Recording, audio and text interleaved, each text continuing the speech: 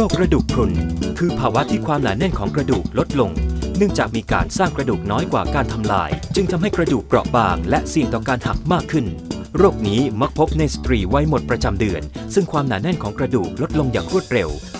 จากสถิติพบว่าประเทศไทย มีสตรีสูงอายุที่กระดูกสะโพกหักสูงถึงร้อยละ 30 เมื่อเทียบกับต่างประเทศ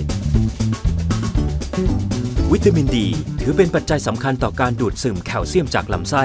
ควบคุมการขับถ่ายแคลเซียมออกจากไต และควบคุมการสะสมแคลเซียมบนกระดูก การได้รับแสงแดดไม่เพียงพอ จึงมีผลต่อการเกิดภาวะกระดูกพรุนได้ นอกจากนี้ยังมีปัจจัยทางพันธุกรรม การไม่ออกกำลังกาย โรคไทรอยด์เป็นพิษ หรือการทานยาสเตียรอยติดต่อกันเป็นเวลานาน ก็ล้วนเป็นปัจจัยที่นำไปสู่ภาวะกระดูกพรุนได้ครับ